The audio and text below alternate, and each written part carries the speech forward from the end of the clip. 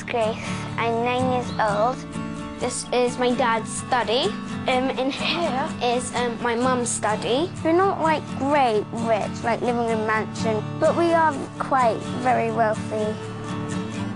My name is Yolanda Gumpo. I am 10 years old. This is where I live, and that's my block down the end. We are not allowed to play outside by ourselves because a person got murdered in the park and a person also got murdered in this building down there. Today in the UK, one in three children are living in poverty, and the gap between rich and poor has been growing. If rich kids were hungry, they'll just go to the fridge and get what they want. If I'm hungry, I have to wait. Over a quarter of a million people sponsor children overseas. But what would happen if that scheme was applied to a family here?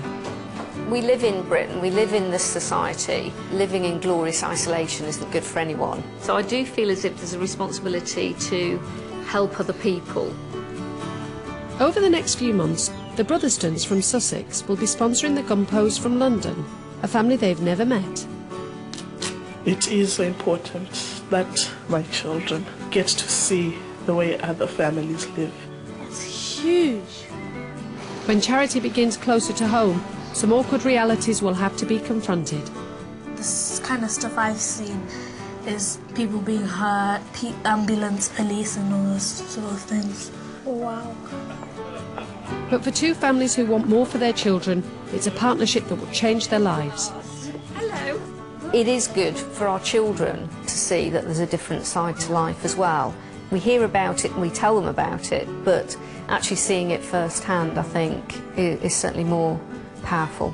It's very touching to, to know that there are people out there who are genuinely caring.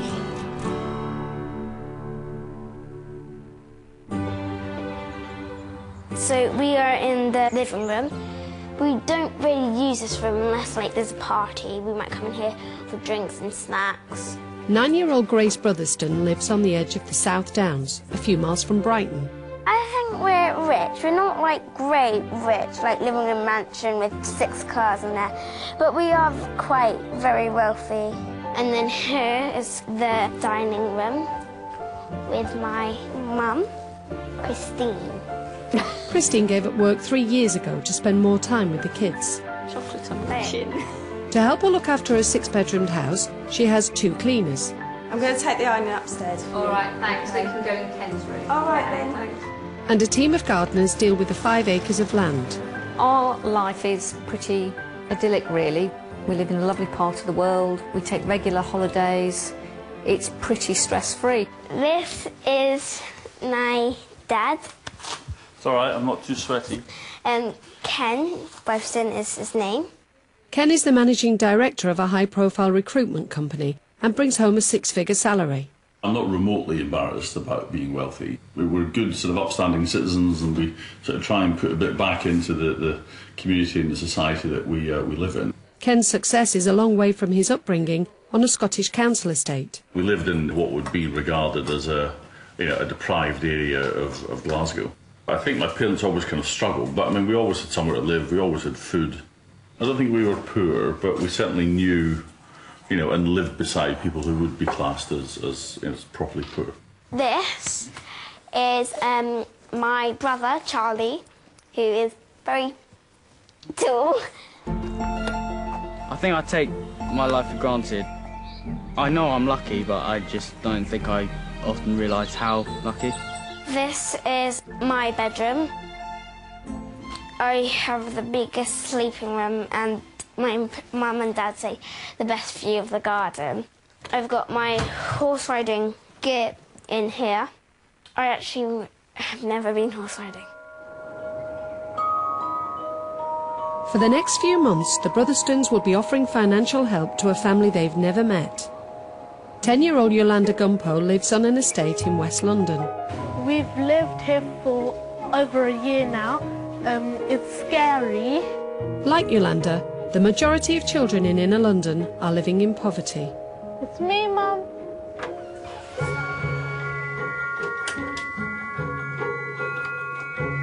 I live with my two sisters and my mum. Look at Colour. Joyvi is five years old. She sometimes gets on my nerves, but she's my sister, and I love her. You are gonna be a princess. Moesha is nine years old and she's smart and very, very strong. Moesha's bed is low because the bottom part, the base, had to be thrown away because it was broken. So she now she only sleeps on the mattress. This is all my stuff. I keep my stuff in boxes and suitcases because my mum can't afford drawers. Sharon's only income is the £240 a week she gets in benefits. I do budget my money very well. Every penny does count. At the end of the week, I'm usually left with nothing.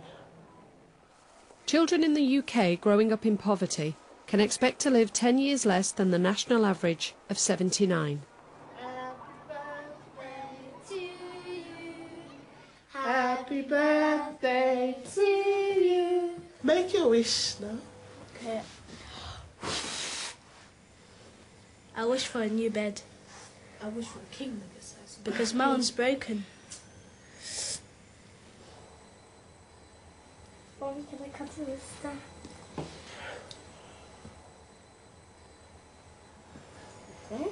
I guess I just realized how much a bed means to her. So that upset me because a bed is just one of those basic things that I feel she should be having anyway. Eight years ago, Sharon and her husband fled Zimbabwe and found shelter in the UK. Thank you, God, for the food. From where I've been, I think I've done very good for myself and the children because we've been in situations where we were almost becoming homeless sometimes. When Sharon's marriage broke down, she was left with mounting debt. And with three children to look after and no money for childcare, she struggled to find work. I would prefer I was employed and making a decent living for my family. I think because of the amount of time I've actually been out of work at the moment, I'm prepared to take any job.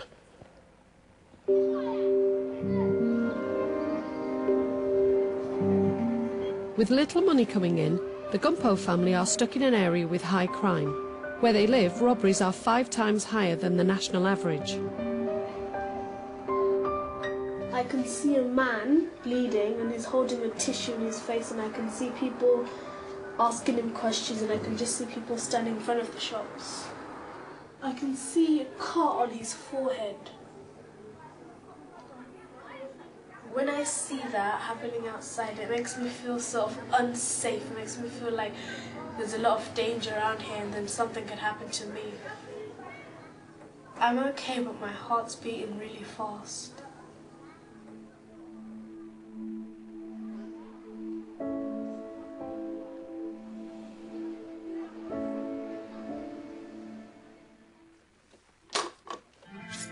This is our garden. We have like main front lawn with the um, rose garden. Uh, we've got greenhouse, tennis court, and then we have the mound at the back. And those trees at the very back, that's all the way our garden goes to.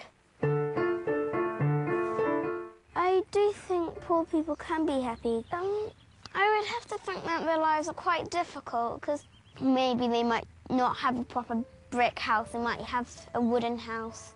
I think Grace has partly caught that perception because, in in some ways, how she's been exposed to the issue of poverty has been through school, and therefore they tend to, you know, she's done projects on the poor in Kenya or, you know, tragedies in Darfur or somewhere. Inspired by overseas sponsorship schemes, over the next two months, the Brotherstons will get to know and provide help to the Gumpos. we don't really need more. We could have a swimming pool rather than just a tennis court and all of that, but it wouldn't add that much more to my life. So I do feel as if there's a responsibility to help other people and the society that you live in. Right, who wants one? It is good for our children to see that there's a different side to life as well. We hear about it, they tell, we tell them about it, but actually seeing it firsthand, I think, um, is, is certainly more powerful.